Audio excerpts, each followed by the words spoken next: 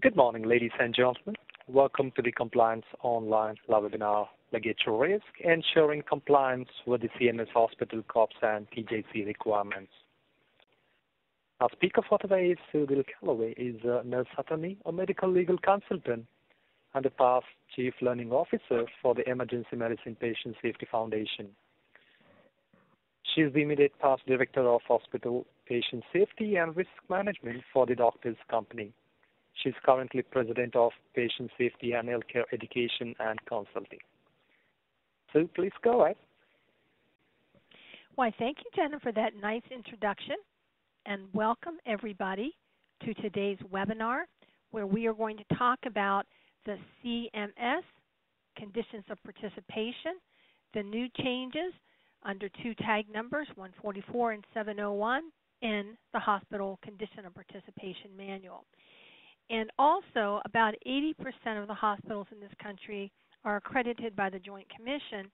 So we will also go through the Joint Commission 13 rules uh, that are all fairly new. And we're seeing a lot of change. In fact, I, I think I've probably updated my PowerPoint presentation maybe eight times because, and, and we can expect more changes. This is what I call a kind of a moving target where um, we will continue to see updates. On slide number three, I always give you my phone number. And if you have a question, uh, you can give me a call. I, I don't accept emails because sometimes I don't get them or I don't understand them and I need to understand your question to be able to answer it. And then I have office hours Monday through Thursday from 10A to 10P Eastern Time. So feel free to call me. And just like if you have a question, uh, you can email it to jointcommission.org. Uh, when you go on the home page, there's a form you can fill out or you can call. For the first time, CMS has an email address that you can ask any questions that you might have on any of the CMS uh, conditions of participation, uh, which is normally what we call uh, those that 528-page manual uh, that we have to uh, follow. And David Ettinger is the one who is in charge um, of the CMS uh, program. Also, I have some additional resources uh, for you that I thought you might like. Uh, there's three documents that help you do an environmental assessment so as you're walking through to figure out what puts patients at risk.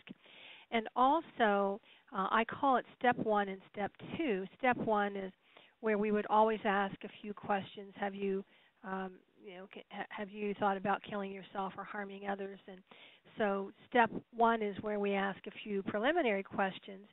And if those questions are positive, then we follow up with step two, which is a more detailed assessment um, of that individual. So I have, uh, and I won't go over all of them, but I have a lot of them. In fact, anyone that was that was mentioned either by the Joint Commission in any of their resources or CMS. I've given you the website and uh, told you a little bit about those. So those are some additional uh, resources that I will point out for you uh, because there's a lot of scrutiny because this is all new. So I always get asked the question, uh, how in, in the past we've seen quite a bit of change. So how can we keep up with changes uh, in CMS? First of all, if you just have one or two people in your hospital who go out once a month and just click to see if there's a new manual, have one or two people who go out once a month and check the survey website uh, to see if there are any new memos. Uh, you can have them sign up to get the Federal Register. We have two significant proposed regulations uh, that are pending for hospitals, so when those would be final, you would know that. And um, and again, as I mentioned, you can now email uh, questions to CMS directly. So here is the email address.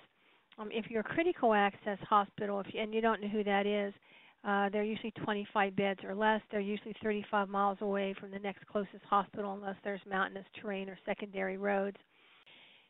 So, what has your hospital done to assess the risk uh, to patients that are uh, behavioral health patients to prevent uh, ligature, in other words, hanging themselves and uh, other uh, again suicide and self-harm. Uh, what have you done to remove these risks? Do you have a policy and procedure? Has your staff been educated on the policies and procedures? Do you have enough staff to support the mitigation risk? And for uh, units that are not ligature resistant, uh, we're going to talk about how a lot of them are going to have to have a one to one. Do you do an individual suicide assessment on each patient?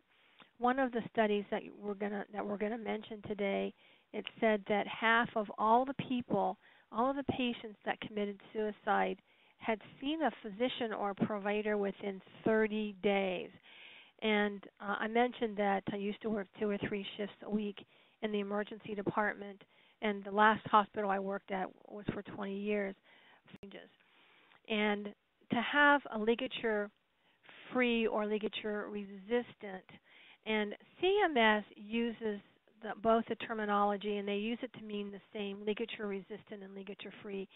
Uh, please, for a legal and risk management standpoint, uh, don't use the term ligature free, use the term ligature resistant.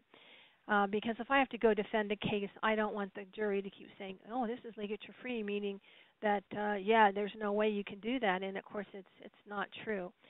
Uh, but anyway, um, this first section is aimed at if you are a behavioral health or psych hospital, or you are a behavioral health unit. And just like the way Joint Commission does it, they they give us the standards for the behavioral health hospital. And for example, I used to work at a hospital that had a 10-bed behavioral health unit, and then they tell you what the standard is for the rest of the hospital. Uh, so we'll talk about that first. So no matter where patients are, you still have to keep them safe if they are suicidal. And they're going to continue, uh, as I mentioned, the primary thing is they're going to cite you um, under in the environment of care, at least for now, under 020601 EP number one. And um, this standard says that uh, the internal spaces need to meet needs to meet the needs of our patients. They need to be safe. Uh, they need to be suitable to um, provide care and service.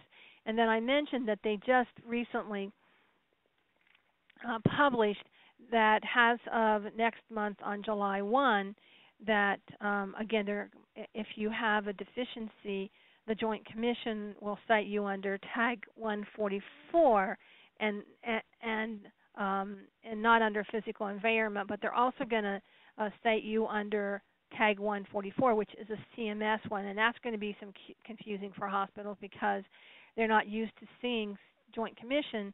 Joint Commission usually cites them to one of their standards and not to to the CMS COP manual. And of course, you would want to take away anything if it was an outpatient area or a residential treatment. Again, sharpening, sharp cooking utensils, knives. You know, again, things that could be if they're highly suicidal. And again, your staff would need to do an environmental assessment, the same thing. And then if they are in a place and all of a sudden they escalate, and maybe they weren't seriously suicidal before, but now they are, then you got to have a policy, a process to keep them safe until you can get them admitted or transferred to a high level of care. And usually, if it's a residential treatment center, they'll either call and get them as a direct admit or they'll come through the emergency department uh, and be admitted. And then the last rule is um, you need to have a policy again on how you're going to manage that patient um, if their symptoms increase and all of a sudden they're a danger to themselves or others. So again, they're escalating. So here is a good resource on how to train for suicide prevention. Uh, this is the Suicide Prevention Resource Center. This is a guide for emergency department staff on how to prevent, uh, you know, how to um, assess suicidal risk. Uh, this is uh, their website. Uh, this is the VA's uh, clinical practice guideline on how to assess and then manage patients that are at risk. Uh, we've already talked about zero suicide, and I gave you a lot of resources on that.